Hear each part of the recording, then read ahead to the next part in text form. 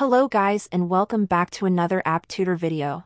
In this video, we'll learn how to easily remove WhatsApp from other devices. So if you've logged into WhatsApp on WhatsApp web or some other phone, tablet or other device but now want to log out, I'm going to show you how you can do it in just a few simple steps. The process is really easy and this works on both iOS and Android devices. And without wasting your time, let's start right away. The first step is to open the WhatsApp application on our device and after that you want to click on the settings icon which is in the bottom right corner of the screen. When you go over to the settings, you want to find an option called Link Devices which should be the second option.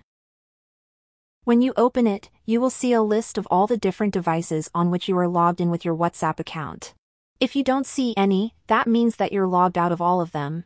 But as you can see, I have Microsoft Edge right here because I'm logged into WhatsApp Web. I'll open it and simply click the Logout button. And after these steps the device will be removed from Microsoft Edge. And that's essentially how you can remove WhatsApp from other devices. If this video helped you out, make sure to share it with your friends and family members and I'll see you in the next one.